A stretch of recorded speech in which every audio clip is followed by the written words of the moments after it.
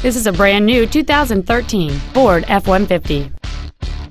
It features a 3.7-liter six-cylinder engine and an automatic transmission.